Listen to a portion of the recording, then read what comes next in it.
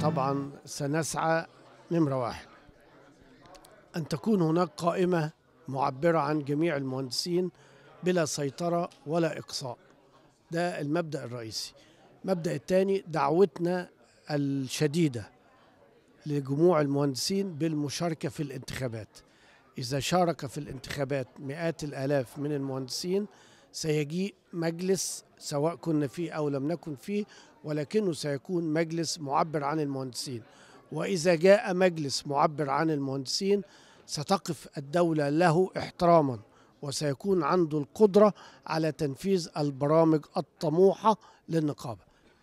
مجلس النقابة السابق والذي انتزعت أو سحبت منه الثقة في مشهد آه، آه، يعني لم يعتده المصريون كان متهما بالإقصاء ومتهما بأن هناك فصائل معينة ينحاز إليها أو ينحاز ضدها هل تيار الاستقلال آه، آه، سوف يكون هناك إقصاء لفصيل معين حتى ولو كان من آه، أنصار آه، مجلس النقابة السابق؟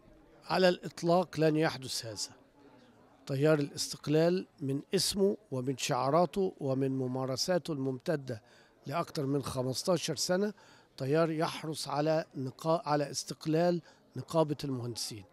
وأولى الاستقلال أولى آه، عناصر الاستقلال إن لا لا تدخل في العمل غير مسموح العمل السياسي الحزبي. لن نسمح أن يكون هناك عمل سياسي حزبي داخل النقابة.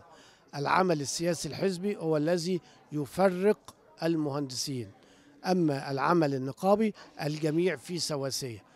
جميع المهندسين مطالبين بالعمل داخل النقابة وستكون النقابة نقابة حرة مستقلة لا تمييز فيها نقابة مفتوحة للجميع لا تمييز ولا أي إقصاء لأي شخص مهما كان لونه السياسي طالما أنه لا يمارس العمل السياسي الحزبي داخل النقابة.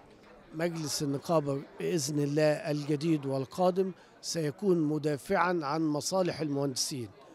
نمرة واحد المشاكل الاجتماعية التي يعاني منها المهندسين ستكون على قائمة اهتماماته. نمرة اثنين الدفاع عن المهنة وعن مهنة الهندسة سيكون نقطة محورية في جدوله. نمرة ثلاثة دفاعه أو مشاركته كاستشاري للدولة في المشروعات الهندسية ستكون من النقاط الأساسية في برنامج النقابة القادم